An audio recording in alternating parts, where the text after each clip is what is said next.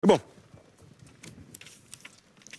είμαστε έτοιμοι για Ε, πολιτική εσύ, συζήτηση; εσύ θα μου πεις αν Πολιτική είμαστε κουβέντα. Ο Γιώργος Νόκος είναι εδώ, στην άλλη φόρμα μας δημοσιογράφος. Γιώργο, καλώς ήρθες. Να είσαι καλά. Και ο Ανδρέας Πετρόπουλος, να είσαι καλά, Καλημέρα, Ανδρέα. καλώς Καλώς ήρθατε. ήρθατε και δύο. Λοιπόν, ε, τα, τη δημοσκόπηση δεν ξέρω αν την είδατε χθες.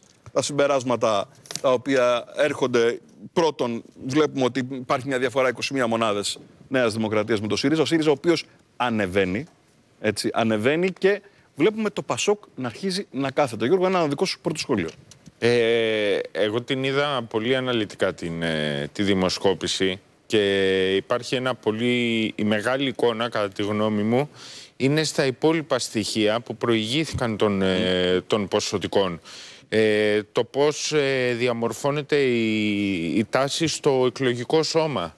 Με τι δηλώνουν οι, οι άνθρωποι, οι πολίτες, μεταξύ αυτών είμαστε και εμείς, ότι δεν είναι ικανοποιημένοι και αυτό ε, ουσιαστικά αποτυπώνεται και σε αυτό το οποίο που σχολίασες πριν, το πρόβλημα είναι το Πασόκ, για να είμαστε Ναι. ξεκάθαροι. Εδώ το βλέπουμε και στα πρόσωπα, αν θέλετε. Επειδή Είδα το. δείξαμε αυτή την κάρτα, τον καταλληλότερο για πρωθυπουργό. Βλέπουμε στο 35,8 χωρίς αντίπαλο ο Κυριάκος Μητσοτάκης, έχει τον κανέναν στο 29,5. 8% ο κύριος Κασελάκης, 6,1 βλέπουμε ο κύριος Ανδρουλάκης και ακολουθούν οι υπόλοιποι πολιτικοί αρχηγοί με 3,3 ο κύριος Κουτσούμπας, 5,3 ο κύριος Βελόπουλος, 3,1 η κυρία ε, Κωνσταντοπούλου ε, κτλ. κτλ. Να σου Ε, προσθέσω κάτι σε ναι. αυτό το Ναι. οποίο λες. Ε, είναι ενδεικτικό του... Δεν είναι πρόβλημα, αλλά είναι ενδεικτικό το ότι στη δημοφιλία ο κύριος Κουτσούμπας είναι δεύτερος, αλλά δεν είναι... Κατα- ε, ε, δεν στο- είναι- στο στην πόσο καταλληλότητα, κατάλληλος είναι, ναι, έτσι. Δείχνει ότι συνολικά το... οι ηγέτες τέλος πάντων των πολιτικών κομμάτων μπορεί να είναι δημοφιλείς, Ναι. μπορεί να Δεν παίζει ρόλο είναι αυτό, Γιώργο. αρεστοί, παίζει πολύ μεγάλο ρόλο. Αλλά δεν τους ε, Είναι θεωρεί ο συμπαθείς, αλλά δεν τον κόσμος- εμπιστεύονται. Ναι, λένε τα καλός αυτός, τον συμπαθώ για να κάτσουμε να πιούμε ένα καφεδάκι μάλλον, αλλά δεν τον θέλω για να κυβερνήσει. Δηλαδή, τα μονοψήφια και στον κύριο Κασελάκη, αλλά και στον κύριο Ανδρουλάκη, είναι προβληματικά. Πάντως Είναι για πολύ κόμματα που προβληματικά. διεκδικούν την εξουσία, Ανδρέα, ο κύριος Κασελάκης και ο κύριος Ανδρουλάκης είναι πολύ χαμηλά. Από ό,τι βλέπω, είναι, είμαστε Στην πολύ, καταλληλότητα. πολύ κοντά να πάμε για καφεδάκι με τον κανένα. Ναι. Ποιος Είναι ο δεύτερος. κανένας; Δεν είναι το θέμα ποιος είναι ο κανένας. ναι. Ο κανένας ε, ουσιαστικά είναι μια απόρριψη του πολιτικού συστήματος. Όπως λειτουργεί. Και, ε, και Των είναι- προσώπων του πολιτικού συστήματος, όχι και, του και της σύνολου. λειτουργίας του πολιτικού συστήματος γιατί όπως τα- τις τελευταίες δέκα μέρες να πάρουμε ε, η Νέα Δημοκρατία, η κυβέρνηση έκανε τα πάντα για να ουσιαστικά για να παραβιάσει το άρθρο 16 και οχυ, ε, παραβιάζοντας το Σύνταγμα ουσιαστικά ε, και οχυρώνεται πίσω από το Σύνταγμα για να διατηρήσει την ασυλία προσώπων οι- τα οποία εμπλέκονται με πρώτον τον κύριο Κώστα Καραμαλή που εμπλέκονται σε αυτό το τραγικό δυστύχημα των τεμπών που κόστησε τη ζωή σε 57 Εγώ κρατώ ανθρώπων. όλα αυτά που λες. Εσύ Αυτό- βλέπεις φθορά στο πρόσωπο του Κυριάκου Μητσοτάκη μετά από πέντε χρόνια διακυβέρνησης της χώρας και με προβλήματα όπως η ακρίβεια, που είναι το σημαντικότερο βάσει των βασικό δημοσκοπήσεων, έτσι, σε Ναι. όλες τις δημοσκοπήσεις. Ε, μετά τις εκλογές ε, του Ιουνίου, ο κ. Μητσοτάκης έχει το, τη δυνατότητα ή το προνόμιο, αν θέλετε, να μην έχει διαμορφωμένη ε, αντιπολίτευση η οποία ε, επειδή πέρασε ε, ένα διάστημα τέλος πάντων ε, με εσωκομματικές ε, προστριβές, διαδικασίες Την αξιωματική αντιπολίτευση, λες, το ΣΥΡΙΖΑ λέμε, έτσι; ναι, αλλά και, και το Πασόκ. Δηλαδή ε, δε- δεν έχει απέναντί του ε, όπως είχε τα προηγούμενα 4-5 χρόνια, δεν νιώθει την απειλή άμας, άμεσα αλλαγής διακυβέρνησης. Έχει μπροστά του άλλα τρία χρόνια και ε, α, οπότε ε, ναι μεν υπάρχει ένα 35% 36% τέλος πάντων καταλληλότητας, αλλά μην την παίρνουμε και τη μετρητής αυτή. Δεν υπάρχει άλλο πρόσωπο αυτή τη στιγμή. Δεν διεκδικεί κάποιος, οπότε μπορούσαμε να το χρήσουμε, ε, να το χρήσουμε κατάλληλο. Ναι. Δεν είναι θέσφατο. Αυτό που βλέπω εγώ είναι ότι κλιμακώνεται το τελευταίο διάστημα μια πολύ σοβαρή αμφισβήτηση και στο Μητσοτάκη και στη Νέα Δημοκρατία. Μισό λεπτό. Να δούμε λίγο, θα, πε- θα ενωρώσουμε οι ευρωεκλογές. Γιατί; Να δούμε τι θέλουν με την ψήφο τους στι ευρωεκλογές οι πολίτες και πώς θα εκφραστούν. Το είδαμε χτες στη δημοσκόπηση. Πάμε να δούμε λοιπόν την κάρτα μας το μήνυμα της ψήφου στις ευρωεκλογές. Μας λέει λοιπόν, ε, ο- αυτοί οι οποίοι θα πάνε να ψηφίσουν, ένα 38% είναι αυτό που έλεγες, Αντρέα. Ένα μήνυμα στην κυβέρνηση, 38,5% θέλει να στείλει μήνυμα στην κυβέρνηση. Στήριξη στο κόμμα μου, λέει το 25%. Ένα 19% λέει αποδοκιμασία, ένα 20% περίπου στην κυβέρνηση. Και στήριξη κυβέρνησης μόλις το 8,9%. Είναι οι ευρωεκλογές ένας χώρος της λαϊκής έκφρασης, γιατί εμείς εκφραζόμαστε εκεί, έτσι, Ναι. η κάλπη είναι δική μας. Α- Ε, να, δω- να δοθούν μηνύματα; Ναι, από ό,τι φαίνεται το, οι 6 στους 10 θα θέλουν Ναι, να αλλά πού θα τα στείλουν δώσουν, στην, μήνυμα. ακρο, στην ακροδεξιά; Ορίστε. Στην ακροδεξιά, 10% τον κύριο Βελόπουλο, τον είδαμε στη δημοσκόπηση και πλέον. Πού θα τα δώσουν τα μηνύματα αυτά; Καταρχήν είναι μια αποδοκιμασία της κυβέρνησης. Θα ξεκινήσουμε Ναι. από εκεί. Ε, τώρα, ε, προφανώς τα προβλήματα της Νέας Δημοκρατίας ξεκινάνε ε, γιατί κατα... είχε καταφέρει το προηγούμενο διάστημα να ενσωματώσει και διάφορα κομμάτια που φλέρταραν με την ακροδεξιά, τα οποία τώρα με την ε, λόγω και της εκλογικής, διαδικα... ε, εκλογικής αναμέτρησης στη- των ευρωεκλογών που δεν υπάρχει θέμα κυβερνησιμότητας, να το πω έτσι, ευκολότερα μεταναστεύουν δεξιότερα ενισχύοντας κόμματα τα οποία είναι αμυγός ε, Προς τα ακροδεξιά. δεξιά. Ακροδεξιά. Ακροδεξιά. Να, να, να Ακροδεξιά. πάρουμε και το σχόλιο του Γιώργου πάνω σε αυτό. Δηλαδή, αν και οι δικές σου πληροφορίες, Γιώργο, λένε ότι το Μαξίμου έχει προβληματιστεί ιδιαιτέρως από την άνοδο που βλέπουμε στα κόμματα τα οποία κινούνται πιο δεξιά από τη Νέα Δημοκρατία. Ε, και αν θα επιχειρήσουν μέσα στους δύο μήνες, δυόμιση-τρει μήνες που μένουν μέχρι τις ευρωεκλογές, με κάποιο τρόπο να, μαζέψουν τις διαρροές, ε; να μαζέψουν τις διαρροές προς τα δεξιά. Εγώ θέλω λίγο να το δούμε από την άλλη πλευρά. Ωραία. Υπάρχει ένας χώρος στα δεξιά της Νέας Δημοκρατίας. Εγώ δεν θα τον χαρακτηρίσω άκρο-δεξιά. Θα πω απλά ότι τοποθετείται δεξιότερα της Νέας Δημοκρατίας. Α, α, Στον οποίο χώρο η Νέα Δημοκρατία χάνει έδαφος. Υπάρχει όμως και ένα ενδεχόμενο αυτό το πράγμα να βολεύει τη Νέα Δημοκρατία. Γιατί; Διότι η δεξαμενή που υπάρχει στο κέντρο φαίνεται ότι αδειάζει συνεχώς. Και ο- ο- ε, η μόνη δεξαμενή που συγκοινωνεί είναι η Νέα Δημοκρατία. Ό,τι αδειάζει από το χώρο του κέντρου το καρπώνει τη Νέα Δημοκρατία. Και καρπώνεται με μεγαλύτερο ρυθμό από ό,τι αδειάζει προς τα δεξιά. Γιατί υπάρχει ένα μεγάλο κομμάτι του δεξιού ακροατηρίου, του συντηρητικού, πείτε το όπως θέλετε, το οποίο παραμένει πιστό στη Νέα Δημοκρατία. Οπότε, αν κάποιος έχει να διαλέξει α, ε, ανάμεσα στο να χάσει στα δεξιά του α, και να κερδίσει Από το στο κέντρο. χώρο του κέντρου, προτιμάει να κερδίσει στο χώρο του κέντρου, το οποίο ε, παραδοσιακά είναι αυτό το οποίο δίνει τη νικη Και σε δεύτερο επίπεδο, υπάρχει και μία, ε, μία άλλη οπτική Ναι. ε, των πραγμάτων. Ότι οι ευρωεκλογές παραδοσιακά από το 2009, από το 2014, από το 2019 δημιουργούν μια περιραίουσα ατμόσφαιρα, δημιουργούν εξελίξεις. Το 19 οι, οι εκλογές, οι εθνικές εκλογές, από το αποτέλεσμα των ευρωεκλογών προκλήθηκαν.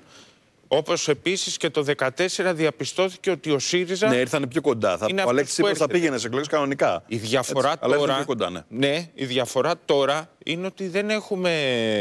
Δεν, μπορούμε να, δεν μπορεί κάποιος να προκηρύξει εκλογές. Και είναι ίσως η πρώτη φορά που οι ευρωεκλογές θα έχουν αντίκτυπο στην αντιπολίτευση και όχι στην κυβέρνηση. Μάλιστα.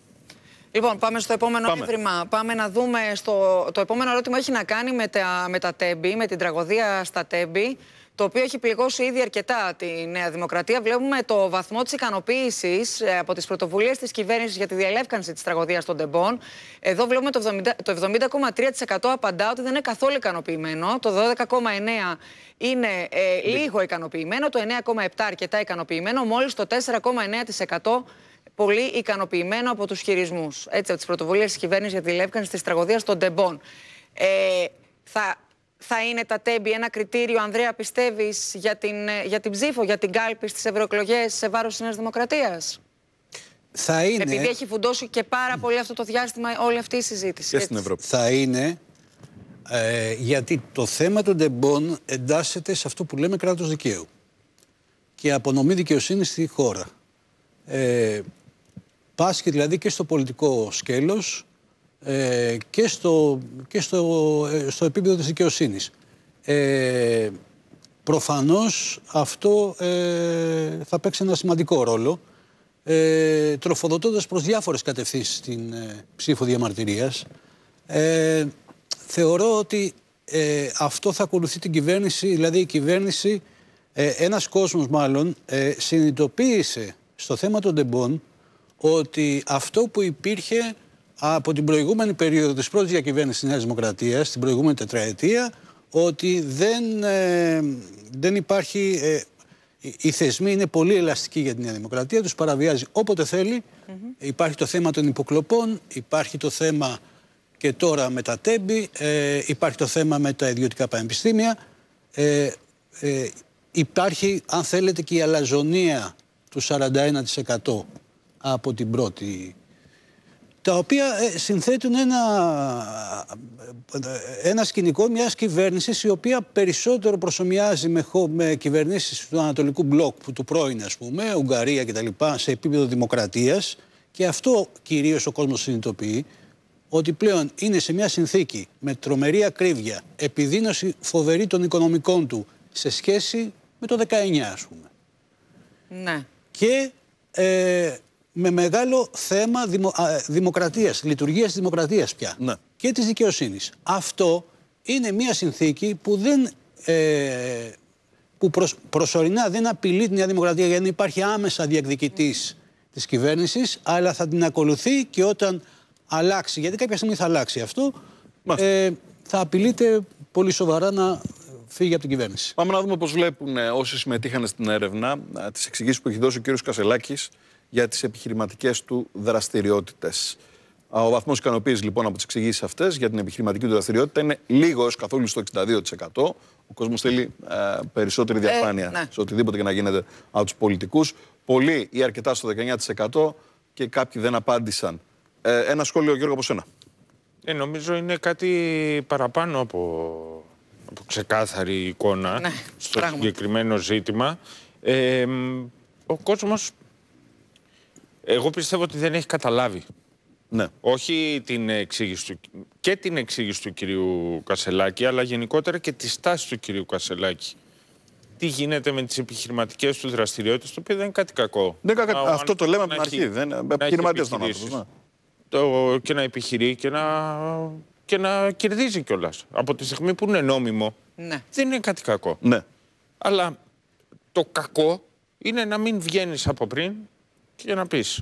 Εγώ έχω αυτά. Εγώ έχω αυτές τις επιχειρήσεις. Θα ασχοληθώ με το- Ξέρω, Ναι. ξέρω ότι υπάρχει πρόβλημα από τη στιγμή που θέλω να γίνω πολιτικός. Θα αποχωρήσω τότε. Ναι. Αποχώρησα τότε. Να είναι δηλαδή μια ξεκάθαρη εικόνα. Νομίζω στον ότι αέρα αυτό, το ναι. πρόβλημα δεν είναι γύρω από τις επιχειρηματικές δραστηριότητες. Είναι γύρω από τις εξηγήσεις. Είπαμε, μπορεί του οποιοδήποτε να κερδίζει χρήματα από τι επιχειρήσει. Γιατί πρέπει να περιμένουμε μέχρι τις 30 Ιουνίου, αναρωτιούνται όλοι και φαίνεται και στη δημοσκόπηση. Με συγχωρείς, δηλαδή, όταν λες δεν πείθομαι, θέλω πλέον να μου πει κάποιος τι ακριβώς συμβαίνει. Ναι, και να μου το ξεκαθαρίσει ουσιαστικά, να μου Ναι. δώσει μια ξεκάθαρη απάντηση. Ναι, δεν το έκανα, το ξέχασα. Δηλαδή, μια, μια ειλικρινής ε, τοποθέτηση νομίζω ότι θα εκτιμηθεί περισσότερο. Πάντως θα δούμε και στα, ε, στα, στα επόμενα ευρήματα ότι γενικά με αυτή τη στάση του ο κύριος Κασελάκης δείχνει λίγο να ανακάμπτει ε, και το κόμμα και ο ίδιος. Δηλαδή βλέπουμε το ΣΥΡΙΖΑ ξανά δεύτερο κόμμα μετά από πάρα πολύ καιρό. Τώρα δεν ξέρω πώς θα το διαβάσετε εσείς, αν θα το διαβάσετε ως πτώση του, του Πασόκ. Πασόκ. Η άνοδο του ΣΥΡΙΖΑ. Πάμε να δούμε ε, στην επί των εγκύρων Ναι. ποιος, ποιο κόμμα σκέφτεστε να ψηφίσετε στις ευρωεκλογές του Ιουνίου. Στο 27,7 είναι εδώ η Νέα Δημοκρατία, στο 10,8 ο ΣΥΡΙΖΑ, στο 10 το ΠΑΣΟΚ, 7,6 το Κομμουνιστικό Κόμμα. Εδώ η Ελληνική Λύση σκαρφαλώνει στο 8,1%. Οι Σπαρτιάτες στο 2, Πλεύση Ελευθερίας 2,4, 3,4 η Νίκη, 1,5 το ΜΕΡΑ 25, 2,2 είναι αριστερά και 2,4 οι Δημοκράτες του Ανδρέα Ελοβέρδου. Εδώ 19,7 για να αποφάσεις. Τι είναι, Θα παίξουν ρόλο. πολύ, πο- πολύ ψηλά. Εδώ βλέπουμε, ας πούμε, ότι ε, και εδώ, και θα το δούμε και στα, υπόλοιπα, στα επόμενα ευρήματα που έχουμε, ότι ο ΣΥΡΙΖΑ, ότι ο κ. Κασελάκης με τη- τη- το τελευταίο διάστημα δείχνει σιγά σιγά να, να ανακτά δυνάμεις και πάλι. Ναι, υπάρχει μια σταθεροποίηση. Καλά, δε- δεν το συγκρίνω με τη Νέα Δημοκρατία βεβαίως, έτσι, σε σχέση με το Υ- Πασόκ. λέω. Υπάρχει μια σταθεροποίηση σε σχέση μετά το συνέδριο. Ε, γιατί υπήρχαν, υπήρχε μια αμφισβήτηση σε ένα βαθμό και δεν, κανένας δεν ήξερε τι θα βγάλει τελικά το συνέδριο μετά την παρέμβαση και του Αλέξη Τσίπρα και όσα δρομολογήθηκαν. Μετά το συνέδριο λοιπόν και τις αποφάσεις που ελήφθησαν εκεί φαίνεται να υπάρχει μια σταθεροποίηση και προφανώς όταν υπάρχει σταθεροποίηση έρχεται και μια άνοδος μετά. Αλλά το εντυπωσιακό κατά τη γνώμη μου είναι η πτώση της Νέας Δημοκρατίας. Είναι πολύ μεγαλύτερη. Αν πάρουμε τα αποτελέσματα των εκλογών ε, στην πρόθεση ψήφου είναι πολύ μεγάλη η τούμπα της Νέας Δημοκρατίας. Φτάνει στο 27,7% από 41. Ναι. Έτσι. Γιατί ο ΣΥΡΙΖΑ συγκρίνεις τώρα εντάξει, την κάλπη όμως έχει την, ε, περάσει την και κάλπη ένα την, ε, πολύ δύσκολο διάστημα Ναι. το οποίο ε, ήταν στο 17, εθνική εδώ. 17,8 και είναι στο 10,8. Α, τηρουμένου των αλλογιών και με αυτά που έχει περάσει ε, είναι πολύ μικρότερη η πτώση του. Υπάρχει τώρα η σταθεροποίησή του. Υπάρχει το ότι ανέβηκε λίγο πάνω από, τον, ε, από το Πασόκ και αν προσθέσουμε και την πρόθεση ψήφου, να το πω συνολικά του πρώην χώρου Δείξτε της- μας και την εκτίμηση και για την- να και κάνουμε της, συνολικό ε, σχόλιο. ε, της αριστεράς, της νέας αριστεράς, Ναι. περίπου είναι ε, και, τε- και οι δύο μαζί ως πρώην χώρος ενιαίος του ΣΥΡΙΖΑ είναι περίπου στο 14, 13,5-14%. Λοιπόν, εδώ είναι. Εσύ Γιώργο τι λες, βλέποντας Την εκτίμηση τώρα, έτσι, την επί των εκτίμηση. εγκύρων. Εγώ θα το διαβάσω από, το, από τα κάτω προς τα πάνω. Έχουμε ξεκάθαρα το, σύμφωνα με τα αποτέλεσματα Ναι. της δημοσκόπησης, τον κύριο Βελόπουλο τέταρτο κόμμα, σε απόσταση 2,4 από το Πασόκ. Ναι. Το Ναι. οποίο δείχνει ότι είναι ξεκάθαρο, το είπα και νωρίτερα, ότι έχει πρόβλημα.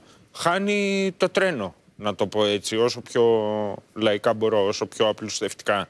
Ο ΣΥΡΙΖΑ, ναι μεν δείχνει να σταθεροποιείται, αλλά σταθεροποιείται χαμηλά.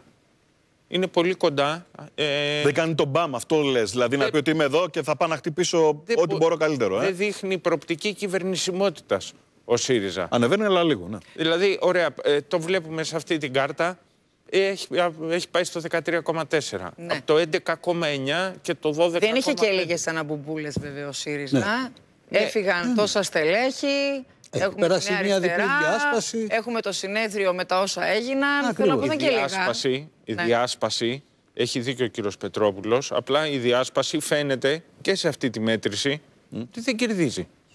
Δηλαδή, Ε, κινείται οριακά, κάτσε είναι νέα ακόμα. Η νέα αριστερά είναι νέ, νέος σχηματισμός. Δεν έχουμε δει τα πρόσωπα τα οποία θα. και πότε θα, πάνε- τα δούμε. Σε ε, λίγους μήνες έχουμε ευρωεκλογές.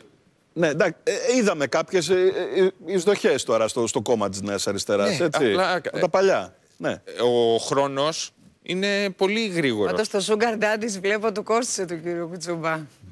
Και το Ανδρέα, κόμμα- τι λέ- τι λες γι' αυτό. Sugar Daddies. του κόστησε γιατί βλέπουμε ότι έχει κάνει μία άνοδο Έτσι. και αμέσως Γι' αυτό μετά το μια Και το, λέω. πτώση. Γι' και αυτό το το θέμα λέω. των ομόφυλων ζευγα- ζευγαριών του έχει Κόστησε. στοιχήσει, όπως στοιχίζει και στη Νέα Δημοκρατία, γι' αυτό τροφοδοτείται και η ακροδεξιά.